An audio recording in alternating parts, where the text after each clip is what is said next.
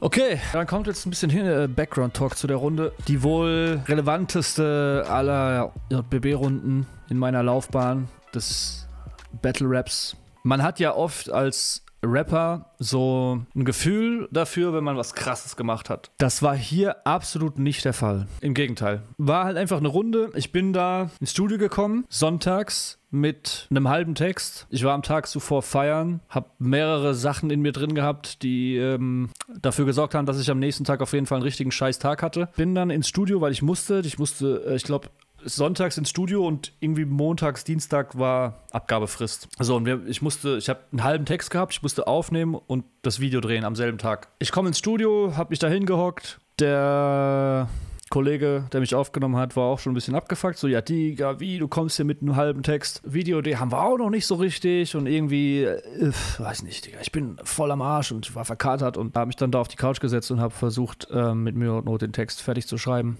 das gemacht in einer Stunde oder zwei. Text stand. Ich so, okay, lass aufnehmen. Ich hatte gar keinen Bock. Ich sag euch, wie es ist. Ich hatte gar keinen Bock an diesem Tag. Auf nix. Aber ich habe durchgezogen. Aufgenommen, recorded. War dann endlich Gott sei Dank vorbei. So, okay, ja, ist ganz nice geworden. Video gedreht. Wir haben nicht einmal jetzt versucht, so objektiv anzuhören und zu sagen, okay, wie sind die Chancen? Weil ich habe Gary damals schon als sehr ernsten Gegner wahrgenommen, weil der war auch ein krasser Publikumsliebling damals, meine ich. Dann haben wir das Video abgedreht Luca hat es dann geschnitten, die zwei darauffolgenden Tage. Wir haben es abgegeben und Julian meinte, Dicker, was habt ihr da gemacht? Was ist das für ein Battle, Digga? Ihr habt alle beide so rein, reingefickt. Und ich war erstmal ein bisschen perplex. Ich dachte so, Herr, weiß nicht, Digga. Also, vielleicht lag es auch einfach dran, dass ich an dem Tag halt einfach wirklich nicht, nicht fit war. Ich hab's dann hinterher schon gecheckt auch, warum die so gut ankommt. Weil die Punchline-Dichte war halt schon auch sehr hoch, der Beat war nice. Wir haben den ja, den Beat haben wir am Tag dort gepickt. Ich hatte den nicht vorher, ich habe nur den ersten Part geschrieben gehabt, als ich ins Studio kam. Und dann haben wir vor Ort noch diesen Conny-Beat gepickt, der dort schon seit Jahren auf dem Rechner rum versauert hatte. Und als das Battle dann online kam, war die Resonanz auch entsprechend das alte Video von Gary, äh, das wurde mir zugeschickt tatsächlich. Ich habe da nicht viel recherchiert. Ich hatte einfach das Glück, dass irgendjemand das gefunden hat und hat, hat, mir das geschickt. Weiß bis heute nicht, wer das war. Und in Kombination mit dieser Runde, ne, mit diesen zwei Beats, der hohen Punchline-Dichte und dem, dem K.O.-Punch in der Mitte war das natürlich ein,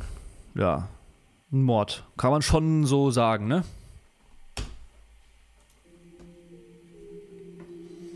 Allzu sicher sollte seine Anhängerschaft noch nicht über das Finale spekulieren. Er muss nämlich erstmal das Viertelfinale überleben.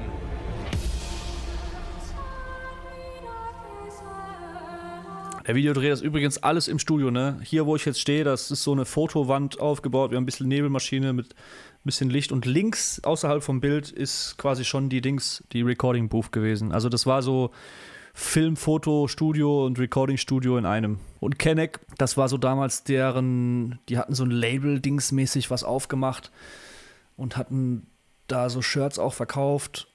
Und ich glaube, Manuelsen hatte da irgendwas auch mit zu tun mit Kenneck. Oder der hat dafür mal Promo gemacht. Keine Ahnung, Digga.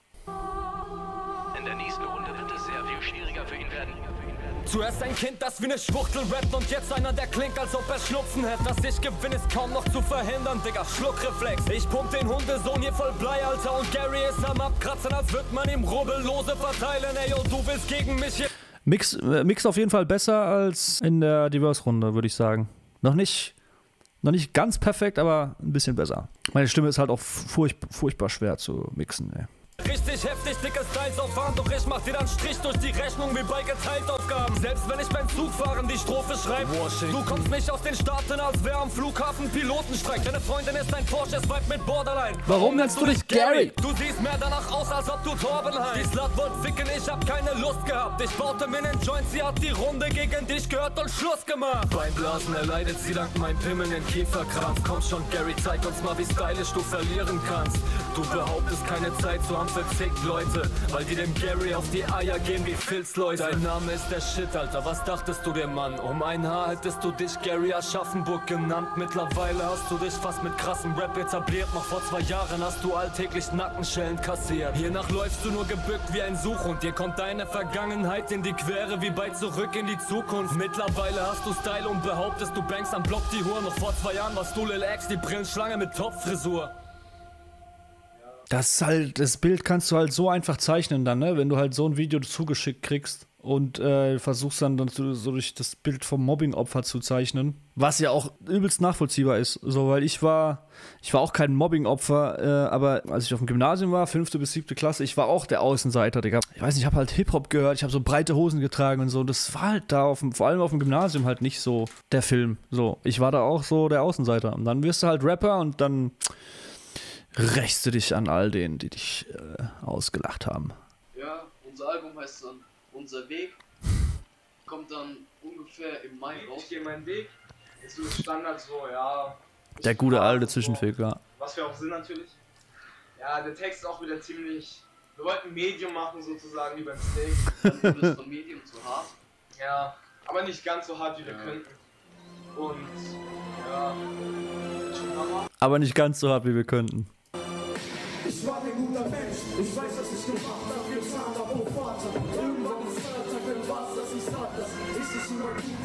Habt ihr gesehen, noch diese Handbewegung, wie er noch die Crowd angeheizt hat im Tanzclub 88? Es ist halt höchst unangenehm. Aber ey, es ist einfach nur Pech, ne? Ich könnte nicht sagen, dass es von mir nicht auch solche Aufnahmen geben könnte. Ich habe jetzt nicht im Tanzclub 88 aufgetreten und ich habe auch keine Bushido-Songs gerappt, aber ich habe halt auch im ähm, Jugendhaus Bad Schönborn aufgetreten, ne? Vor zwölfjährigen Kindern mit Eltern dabei so. Also wird es davon Videos geben, wäre safe ähnlich peinlich, Digga. Gary läuft bei dir. Das Fakt ist, dass deine Fanbase enttäuscht sein wird, denn ich fick dich back in den Bauch von deiner Mom wie ein Beuteltier. Sag mir, warum du hier den Harten spielst, Freakshow. Du musst dir deine Lines aus der Nase ziehen wie ein Speedpopel. Ich hab schon im Seastod gebattelt, da hast du noch mit Big D auf deinem Abschlussball Tracks von Bushido gerappt. Alter, bitte, wie schaffst du's, dich selbst dann noch ernst zu nehmen? Du würdest heute noch Gangster-Rap machen, hättest du nicht Battles von Lance gesehen. Hat dir gefallen war, ja, hört mal, nur talkst du Huren nix. Gary steht auf der Stage und lässt einen fahren wie Autoscooter-Chips. Lässt einen fahren wie Autoscooter Chips war auch recycelt, kennt wahrscheinlich kein Mensch. Ich glaube, die habe ich mal vor ewigen Zeiten habe ich die mal gerappt. Da habe ich noch ins Headset gerappt. Ich habe das glaube ich nie nie released. Aber da sind viele viele recycelte Lines drin, weil ich wie gesagt da ne, den Text nicht ready hatte und äh, habe dann so die besten Lines, die noch keiner kannte, habe ich dann recycelt. Meine Lines am Sinn sich, als ob ich sie flachgelegt und geschwängert hätte. Wie dann es Schiss, weil sie drauf abgeht, als wär's ne Kellertreppe. Lass Die mochte ich eigentlich am liebsten, die Line, weil sie drauf abgeht, als wäre es eine Kellertreppe. Ich finde, die ist eine sehr gute um die Männer rappen, yo, Parts, die dich bang. Du fliegst nach dem Schlag aus den Vans, ich bin nicht das K-Element. Du machst einen auf Star für die Fans, ich hab nen Haufen Lines wie ein Strichcodezeichen. Du musst dann Hipster Trend nicht mehr rumlaufen in deinen Fishbowl-Kleidern. Yo, ich zerfick dein Gesicht so, als ob ich Kimbos Reis wär. Dein billigen Piss dreh ich prinzipiell schon im Intro leiser. Wir sind beide Stoned, nur ich hab's derbe drauf. Du entdeckst den Rest in meinem Bornkopf und fragst, yo, kann ich denn fertig rauchen? Ey, T, Mich hat letztens irgendwer gefragt, ob wir uns da abgesprochen haben, dass Gary da bei mir dieses Dings, dieses Ja, eigentlich den Fertigrauchen eingesprochen hat. Ihr checkt aber schon, dass ich das war, oder? Nicht jeder hat das gecheckt.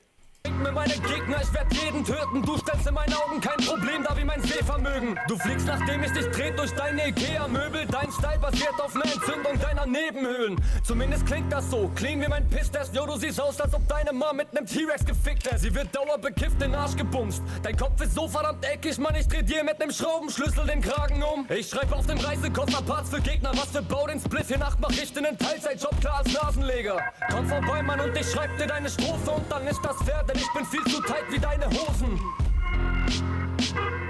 Das in den Schnapsgläsern war übrigens äh, Bitterlemon. Das haben wir genommen, weil Bitterlemon dieses Chinin hat, was so leuchtet bei Schwarzlicht. Und ähm, ja, das war der, war der krasse Videoeffekt. Gary-Runde. Let's go. Rein da.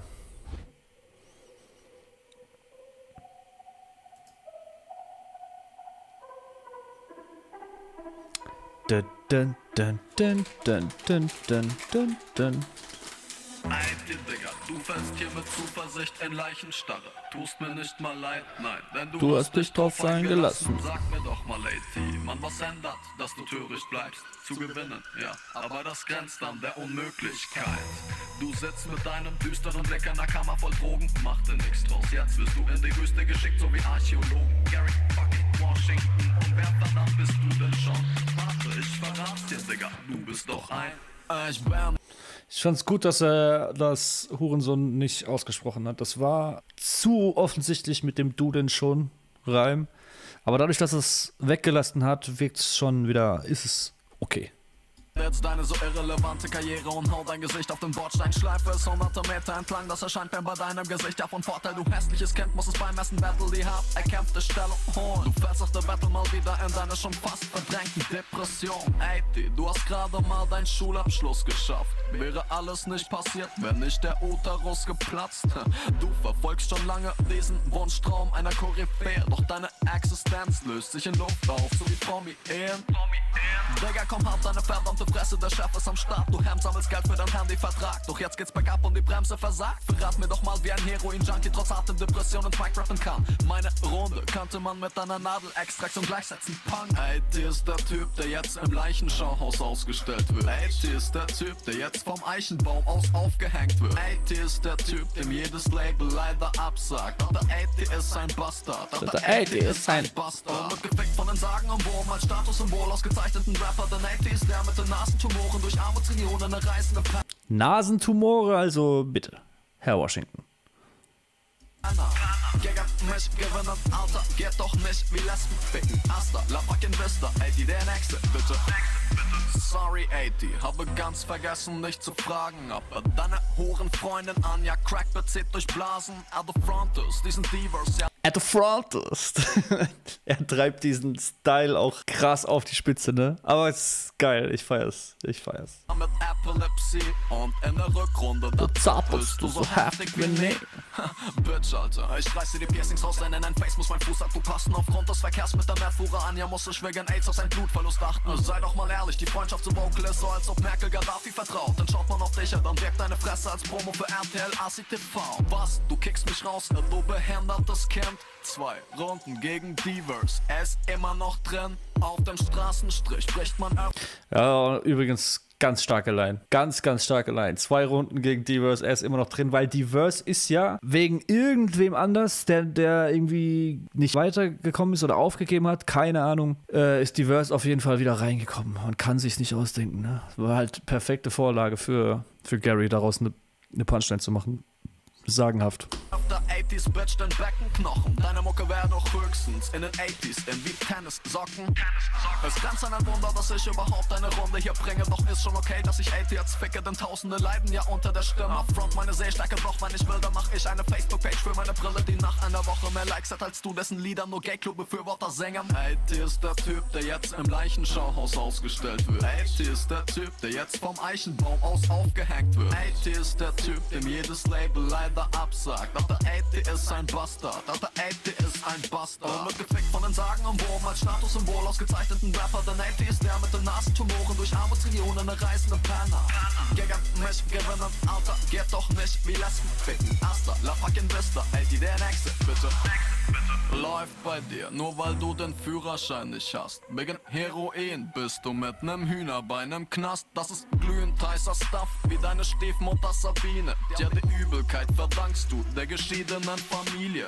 Wie fühlt es sich an, wenn die Mami aufgrund des missratenen Sohnes die Erde verlässt? Dir dein Bastard bedarf es an Das war ja damals auch noch so ein Ding, dass man einfach alles recherchiert hat, ne? Damals konnte man ja auf Facebook die komplette Familie stalken, Digga. Du hast die Namen von, von Mutter, Vater, Schwester, alles rausgefunden, wenn du wolltest. Und es war nicht so schwer herauszufinden. Und daraus wurden dann immer so Geschichten gebastelt im JBB. Das war auch so, das war fast normal, Digga.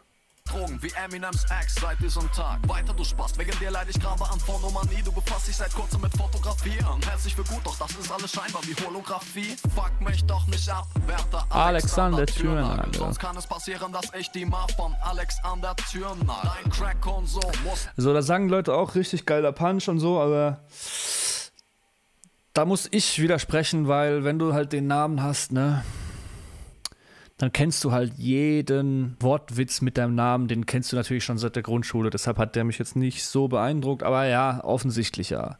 Schon offensichtlicher ähm, Punch, ja. Nicht mal ein stumm reiner Suchhund wittern. Digga, durch mein Klunker könntest du dir deine Zukunft sichern. Du tust zwar auf doch bist eigentlich leichtsinnig hinter der Szene. Hätte ich deine Runde im Voraus gehabt, hätte ich Ist mir freiwillig nicht mal gegeben. Ich gebe mir Tonic, Gin, bange dein Leben. Ich bin wie der teuflische Kopfficker Freddy, ne nach diesem Battle gerätst du in Panik. Siehst in deinen Träumen nur Washington Gary. Ey, hier ist der Typ, der jetzt im Leichenschauhaus ausgestellt wird. Ey, hier ist der Typ, der jetzt vom Eichenbaum aus aufgehängt wird. Ey, hier ist der Typ, dem jedes Label leider absagt. Doch der 80 ist ein Bastard, doch der 80 ist ein Bastard. Und wird von den Sagen umworben als Statussymbol ausgezeichneten Rapper. Der 80 ist der mit den Nasentumoren durch Armutsregionen, eine reisende Penner. Gegen mich gewinnen, Alter, geht doch nicht wie Lesben ficken. Hasta la fucking vista, ey, die der Nächste, bitte.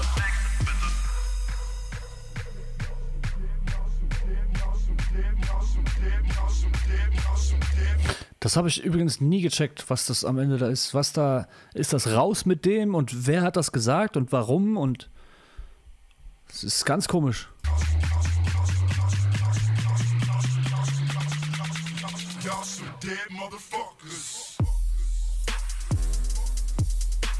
Ja, schönes Video auch. Der, der Adam, der hat da. das hat einfach perfekt harmoniert, ne? Damals die Gary-Runden und die, ähm, die Videos von dem Adam dazu, der hat das.